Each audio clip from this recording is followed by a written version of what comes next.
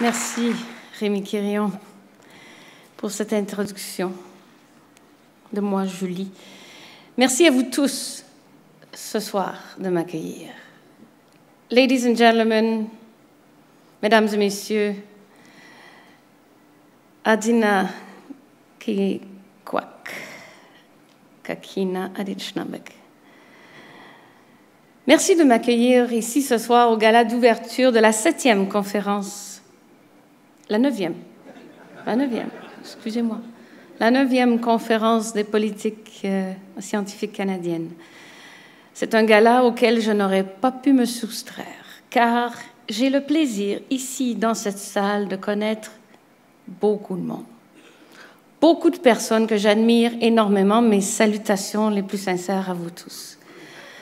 I am very honored to be able to address so many friends and colleagues, and truly humbled that I can address such a audience of deciders, policymakers, scientists, scholars, students of such depth and talent. Thank you for having me.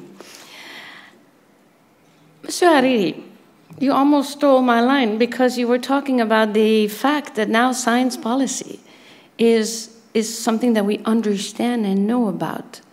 In some circles, perhaps. But I tell a story uh, that is totally unscientific. Actually, I invented it, so it's definitely not scientific. About uh, this uh, cocktail hours that we have, you know, before dinner, like this one, just like you had a little bit before, and uh, to demonstrate how far we still have to go in the general public for science, science and technology to become just as respected as talks about the weather or the latest success, if you're from Ottawa, or Ply, if you're from Montreal, of the local hockey team. Oh, I know. How far we still have to go for, for, for science to be a talk at the cocktail hours. And the story goes like this. We're at the cocktail hour and we're chatting, and then we hear the Fifth Symphony of Beethoven. And then someone says, Oh, that is, I love Beethoven, great composer. And then someone says, Beethoven who? And you will all look at that person and say, wow, that person really doesn't have much musical culture, let alone any culture. But if you are the same cocktail and someone is dissertating about neutrino flavors, tau, muons, electrons, and the difficulty of detecting them, then you will say, Oh, is that a new energy drink? And everybody will not react. And if that person says, when they realize that, uh, oh, you know, me, I don't understand anything about science, I don't understand anything about physics, and you'll say, okay, that's okay, we'll, we'll forgive that.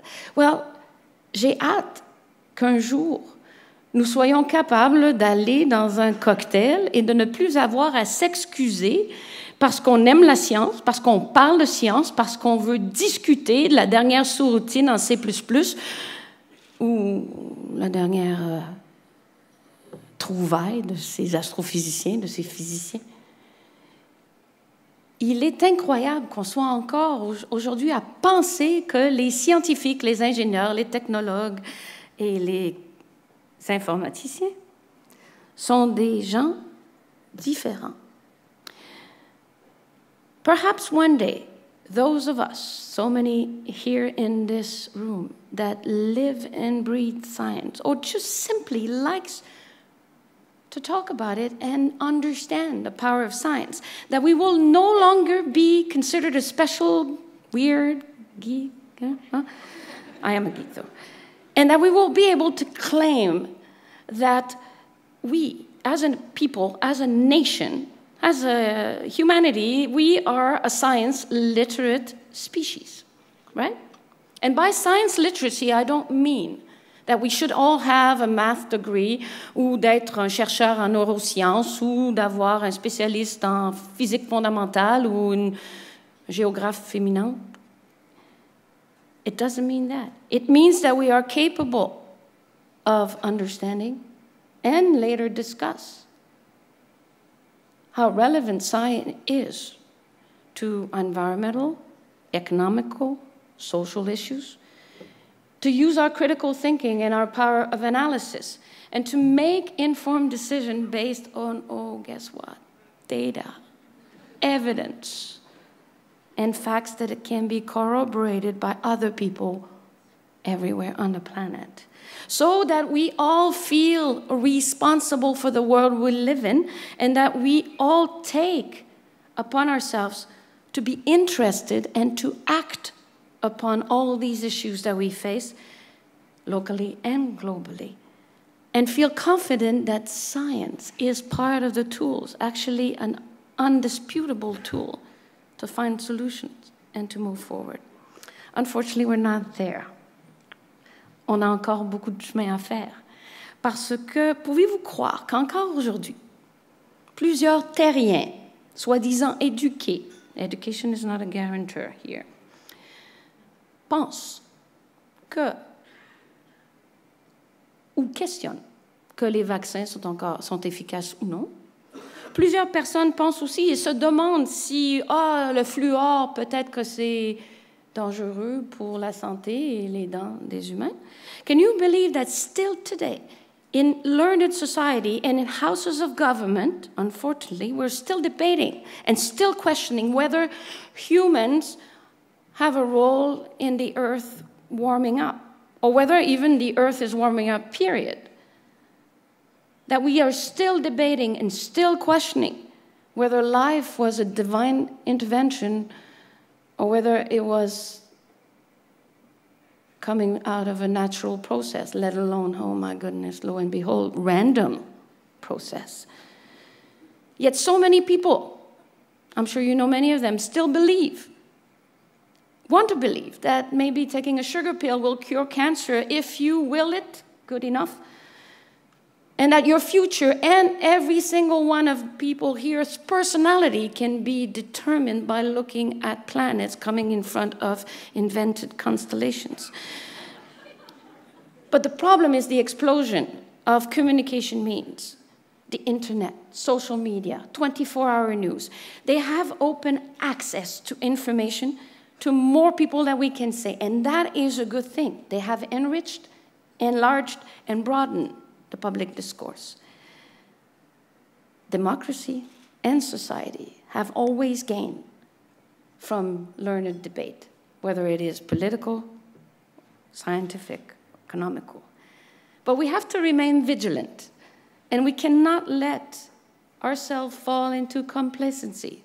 And we must be vocal all the time, everywhere, every single one of us, so that we can deconstruct misinformation and don't end up in an echo chamber where we're just listening to what we want to hear.